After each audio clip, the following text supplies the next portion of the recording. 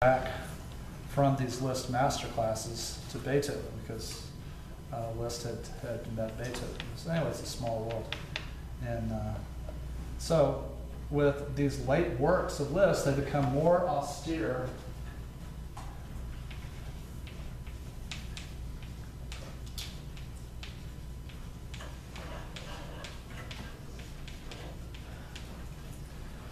And, and uh, intentionally not virtuosic.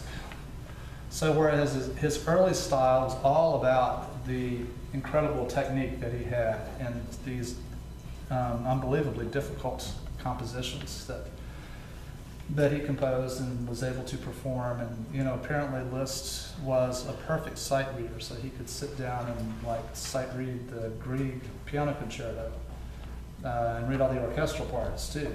Um, and that he would add things. He would play the Chopin etudes and would add, you know, his own idea to the etudes. And Chopin said, you know, as an aside, I wish he'd leave my etudes alone, you know.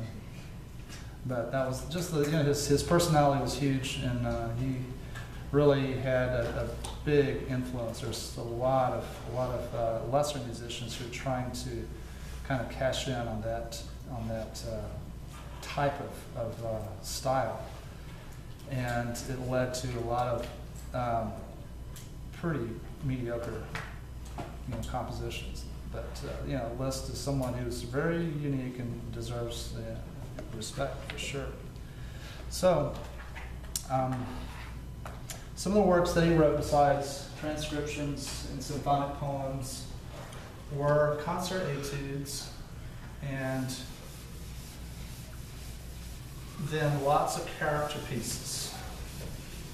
So he is someone who was um, very well read, so he was pretty much self-educated, you know, but he, he, uh, he studied a lot and, and he was very prodigious in his, you know, work ethic.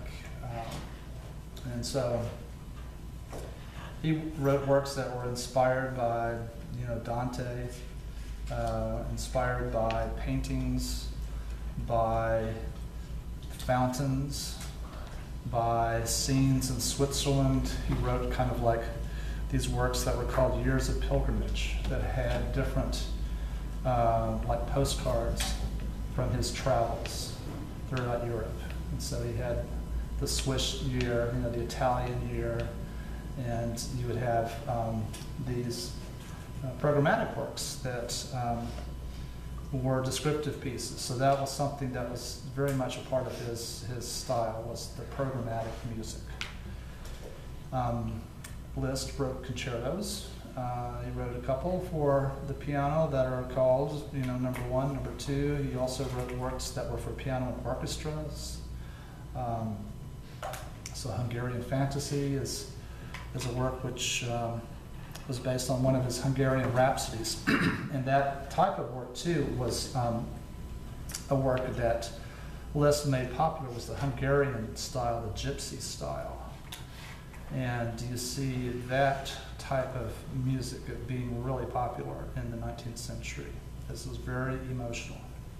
So the, uh, that gypsy music was associated with you know, violin and um, they apparently would, you know, play their melodies and stare at their at the audience, trying to pull them into their their you know personality to dominate them with their music. Uh, any rate, um, the Hungarian Rhapsodies are important, so we'll write up here concert etudes.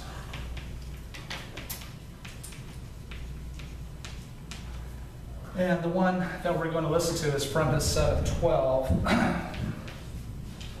that are called transcendental etudes. So they are etudes that the artistic purpose transcends the technical purpose. So it's just you know, typical concert etude type these would have programmatic titles, most of them, not all of them, but the majority of these 12 had, had a programmatic title. And the one we're going to listen to is number four, the one that's called Mazeppa.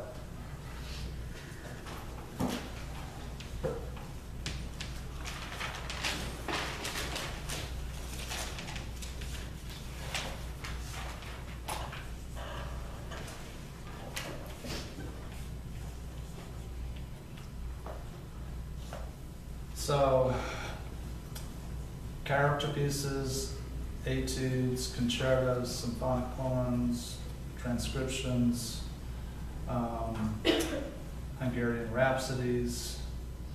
Um, his, his one big epic work that was his most serious composition, I think, for the piano was a sonata in B minor.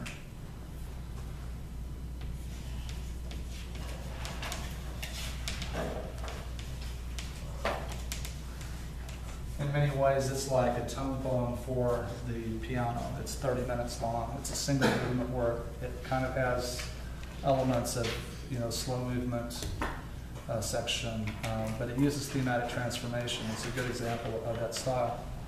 But to see that thematic transformation element in Mazeppa.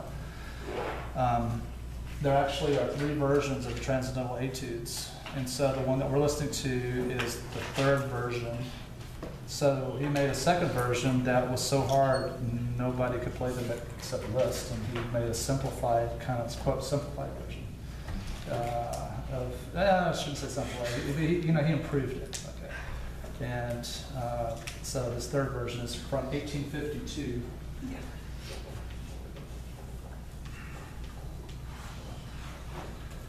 And it's based on this, this tale about this, this fellow whose name is Mazeppa, who um, is Hungarian. He, um, he was caught um, having an affair with a nobleman's wife, and he was sentenced to death. And the means of execution was to be tied uh, without any clothes on behind a wild stallion and to be drugged to death.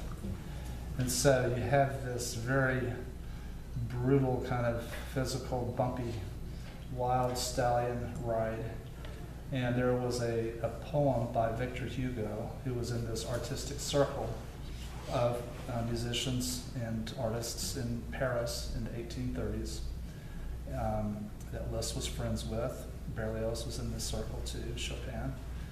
Um, and so uh, Victor Hugo wrote this poem on Mazeppa. And at the very end of, of the tale, it's one in which um, he survived and he was found by this uh, nomadic group of um, Cossacks. He, it was a, a tribe. Uh, they took him in, uh, and then he eventually became their leader. He became the king of this group. So anyway, this is the story of, of Mazeppa. So it has to do with this wild horse ride.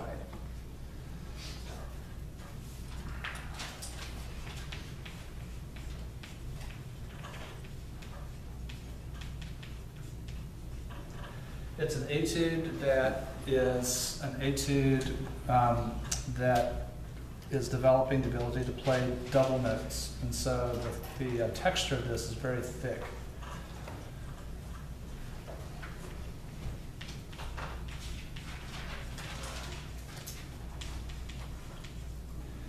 It's also one that exploits really fast hand position changes on the keyboard.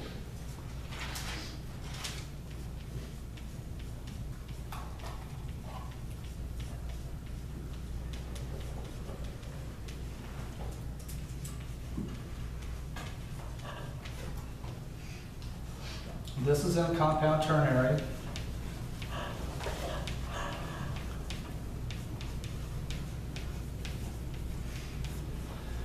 And the outer sections are in D minor, and the middle section shifts to B flat major.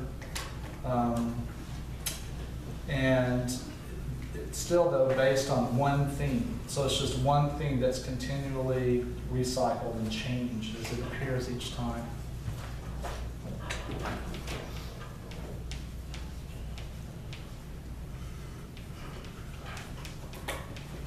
So it makes use of that idea of thematic transformation.